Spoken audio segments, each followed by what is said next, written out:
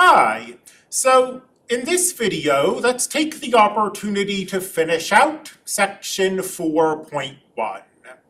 And this is mainly just going to be a definition. The, um, the way the textbook presents this material is a little odd, it has to be said. So in section 4.1, it introduces absolute extrema, and it teaches students how to find absolute extrema. Great. You introduce the topic, you do what you want to do with it, you're done with it. It also introduces a concept of local extrema. Then it doesn't do anything with local extrema. Then there's section 4.2, which is nothing to do with extrema at all. And then in section 4.3, back to local extrema. So there are, if I were writing the textbook, I, there are maybe things I would do a little differently. Um, when you try or attempt the quiz, you'll see the quiz is all absolute extrema stuff. But we'll introduce local extrema now, so that when section 4.3 rolls along, we can just talk about the material presented in that section and not have to present a lot of new definitions. So if our goal is clear, let's get this whiteboard up and I won't be visible anyway when I'm in front of the whiteboard, so that video can go. And let's look at a function. And let's say we're only looking at this function on a closed interval. So the function might be defined elsewhere, but we're only looking at it on this interval. And maybe our curve looks like that. Like every continuous function on a closed interval, this function has a maximum. Great. But going back to what I said, maybe this function is actually defined everywhere, and we were just looking at it on a closed interval. Maybe the function does something like this. Once we're off that closed interval. So now here's our curve, and this point here that used to be an absolute extrema, an absolute maximum, isn't anymore you see, we get above this value over here. So suddenly, this point isn't a maximum.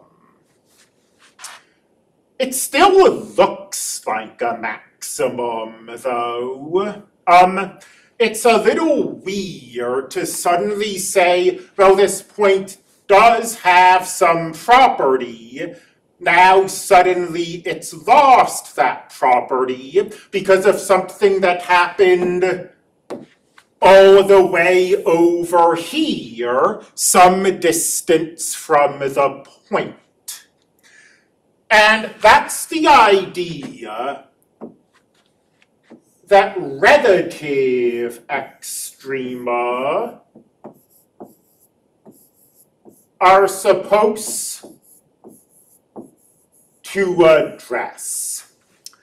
So a relative extrema can be defined a little informally, but I think fairly clearly as follows. Suppose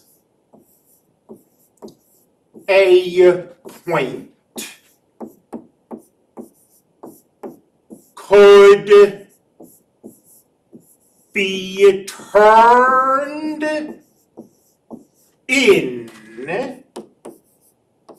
to an absolute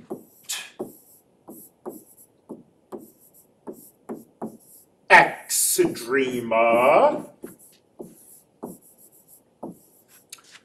by erasing part of the graph. Then that point is a relative extrema.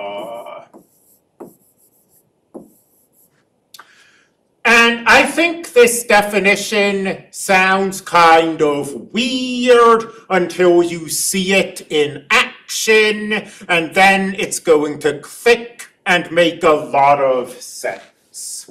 Suppose we have the following graph.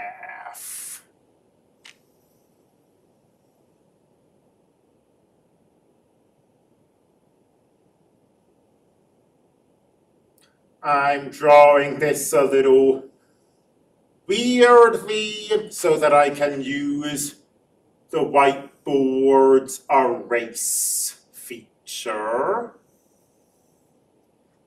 But suppose we have this graph and we're interested in that point. That point looks like a minimum.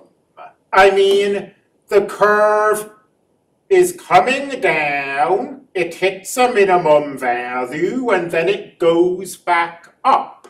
So it looks like a minimum, but it isn't any sort of absolute minimum. You see, we get well below that value over here what this curve, or rather what this point is, is a relative minimum. What did I say about relative extrema? I said a point was a relative extrema if you could turn it into an absolute extrema by erasing bits of the graph in particular by erasing the bits of the graph that are far away from the point. So let's start erasing. We've erased that. Still not an absolute minimum, but we can erase that. Okay, still not an absolute minimum. We can erase that. And what's happened? Suddenly our point has transformed into an absolute minimum.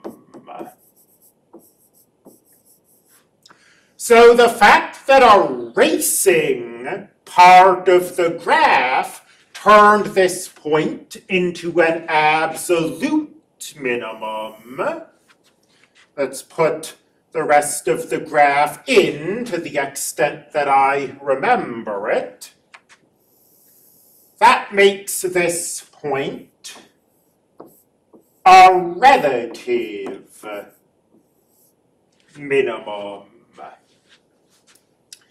And a lot of real world applications of calculus are finding relative minima.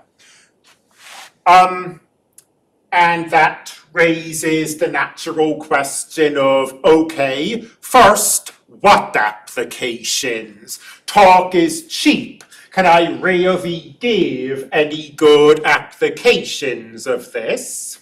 Um, a slightly, a slightly less confrontational question that it raises is, okay, so let's assume that we believe you and we are interested in finding these, uh, these local extrema. How do we go about doing that? Uh, ah, there I am. And as I say, the textbook orders this material slightly strangely. We'll come back to this not Thursday. Um, Thursday we will be taking an interlude and talking about some theoretical material. But next week we will come back to this and we'll look at examples of relative extrema also applications of absolute extrema. That's something we haven't done either. And yes, I will uh, um, hope to see you tomorrow. If I wind up actually on this jury, then I'll post an announcement and I'll post some video like this for you to look at. Um, Bye bye.